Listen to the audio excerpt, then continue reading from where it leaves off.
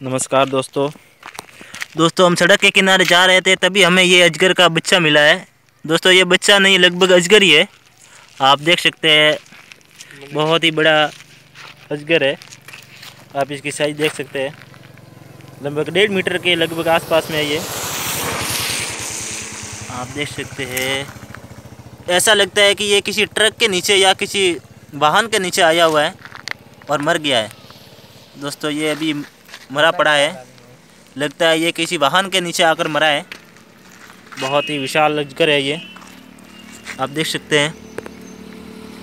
बहुत ही विशाल अजगर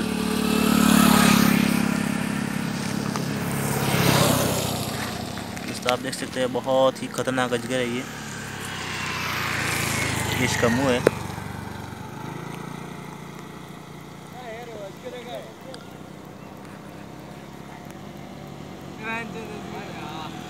देखिए, आप देख सकते हैं।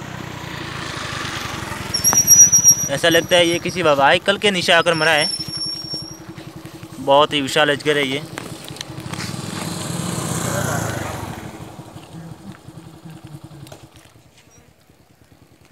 दोस्तों, यहाँ पर काफ़ी लोगों ने देखा है।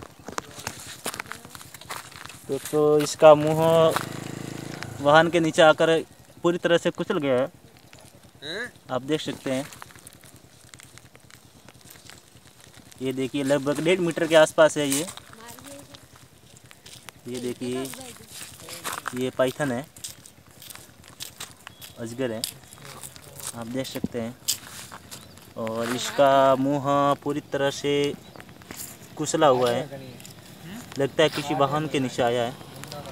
तो दोस्तों, हम सड़क के किनारे जा रहे थे, तभी हमें ये अजगर दिखा है। दोस्तों हम आपको कैमरे में दिखा रहे हैं। हाँ।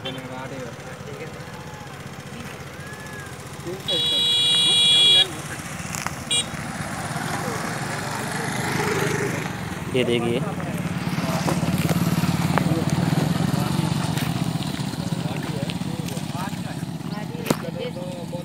हाँ, नीड यू का